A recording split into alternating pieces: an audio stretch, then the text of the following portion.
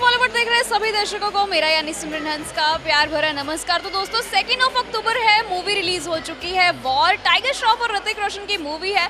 तो देखते हैं ऑडियंस को ये मूवी कितनी पसंद आई है बिकॉज़ दोनों एक्शन के मास्टर्स हैं। डांस इतना अच्छा करते हैं तो देखते हैं ऑडियंस की उम्मीदों पर ये खरे उतरे हैं या नहीं। आइए जानते हैं ऑडियंस के क्या रिव्यूज़ हैं वॉर को लेकर।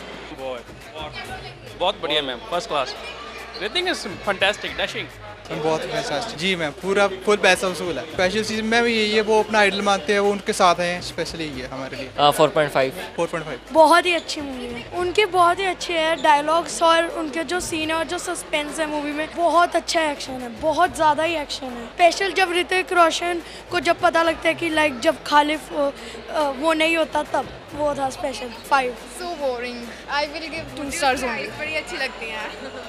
अच्छी मूवी थी पर बहुत लंबी थी। ऋतिक ज़्यादा अच्छा दिखाया गया टाइगर को इतना खास नहीं दिखाया गया। मुझे ऋतिक रोशन अच्छा लगा। फाइव स्टार बहुत अच्छी। वे वंडरफुल नहीं टाइगर श्रॉफ जो बेस्ट पेन पॉइंट जो है टाइगर श्रॉफ ही उस फ़िल्म का।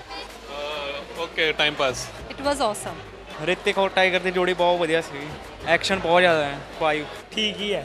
एक्शन अच्छा था। एक्शन के लिए five out of five best बहुत अच्छी मूवी थी औसम मूवी मतलब मूवी का स्पेशल एक्शन था। फाइव में से टेन दूँगा मैं तो। बहुत बकवास मूवी है ये। टू बहुत अच्छी मूवी थी। Five out of five special जो उसमें एक्शन मूवी थी। दोनों बेटर थे आउटस्टैंडिंग थी दोनों। Movie was awesome Tiger Shroff and Hrithik Roshan was very good तो ऑडियंस के रिव्यूज़ तो आपने जान ही लिए होंगे। अगर आपने भी मूवी देख ली है तो मूवी को कमेंट सेक्शन में फाइव में से रेट ज़रूर कीजिएगा। आपको मूवी कैसी लगी है ज़रूर बताइएगा।